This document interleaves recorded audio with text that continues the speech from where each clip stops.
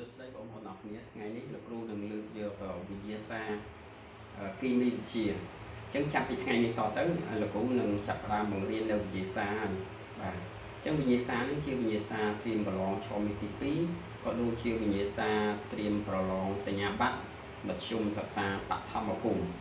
បាទអញ្ចឹងចាប់ពីថ្ងៃនេះទៅលោកគ្រូចាប់ផ្ដើមដំណើរការវិទ្យាសាស្ត្រអញ្ចឹងយើងទាំងអស់គ្នាចាប់បានសង្កេតមើលវិទ្យាសាស្ត្រទី1គឺគីមីវិទ្យា បាទវិញ្ញាសាទី1ត្រៀមប្រឡងសញ្ញាបត្រមធ្យមសិក្សាបឋមភូមិទី1រមាំងចូលគូសសញ្ញាធិក្នុងប្រអប់ដែលជាចម្លើយត្រឹមត្រូវតែមួយគត់1ក្នុងចំណោមសារធាតុខាងក្រោមនេះតើសារធាតុណាមួយដែលមាន pH ស្មើ7អញ្ចឹងយើងមើលកូកាកូឡាទឹកសាប៊ូទឹកហើយនឹងទឹកប៉េងប៉ោះអញ្ចឹងក្នុងចំណោម4នេះចំណោយ4នេះ ចឹង pH ស្មើ7នៅដល់អញ្ចឹងអានឹងមានតែទឹកទេបាទទឹកមាន pH ស្មើ7ណាបាទអញ្ចឹងយើងពីកន្លែងទឹកមកទី2ក្នុងចំណោមឧស្ម័នខាងក្រោមនេះតើឧស្ម័នណាមួយដែលជាចេញពីដង្ហើមមនុស្សឧស្ម័នដែលជាចេញពីដង្ហើមមនុស្សបាទមនុស្សយើងមានដង្ហើមចូលដង្ហើមចេញអញ្ចឹងយើងដង្ហើមចូលគឺយើងបើកយកអុកស៊ីហ្សែនដល់ដង្ហើមចេញគឺ កាបូនឌីអុកស៊ីតអញ្ចឹងយើងធីកកន្លែងកាបូនឌីអុកស៊ីតបាទ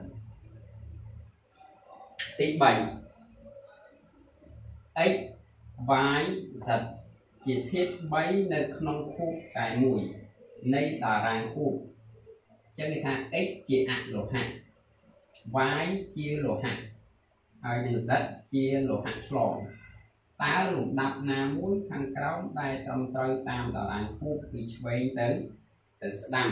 បាទពីឆ្វេងទៅស្ដាំតោះឥឡូវយើងសង្កេតមើលបាទយើងដឹងថានៅក្នុងតារាងខួបវាមានអលោហៈវាមានលោហៈ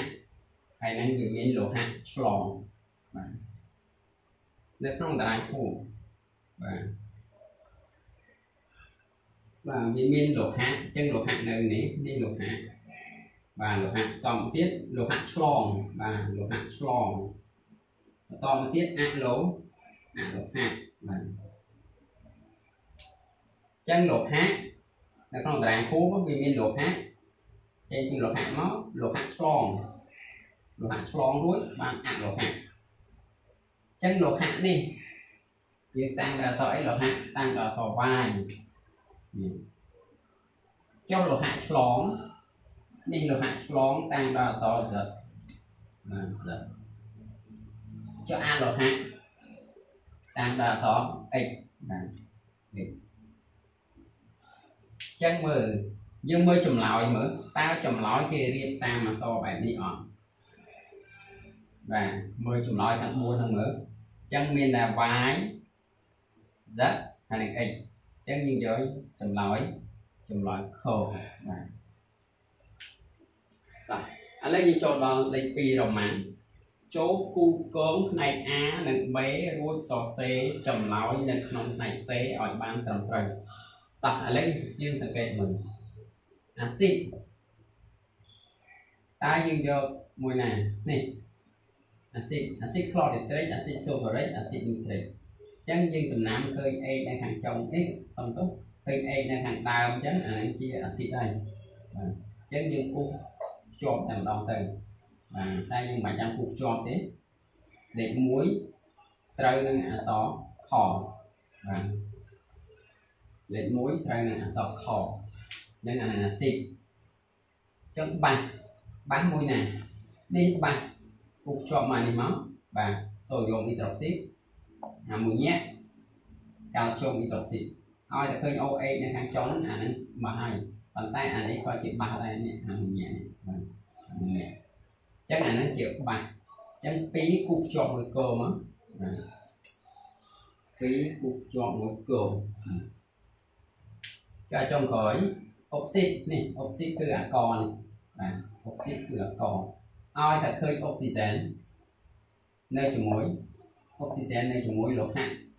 អុកស៊ីហ្សែននៅជាមួយលោហៈអុកស៊ីហ្សែននៅជាមួយលោហៈឬក៏អុកស៊ីហ្សែននៅជាមួយអលោហៈអានេះគេហៅថាអុកស៊ីតហើយឲ្យតែមានអុកស៊ីហ្សែននៅជាមួយចឹងអាហ្នឹងគេហៅអុកស៊ីតចឹងគូភ្ជាប់មក3គូភ្ជាប់មើលកបាទចឹងលោកអធិស្ឋានដែរនោះវីដេអូនេះលោកអត់បានបញ្ចប់ទេយើងចាំបន្តនៅវីដេអូបន្តមួយទៀតបាទសូមអរគុណ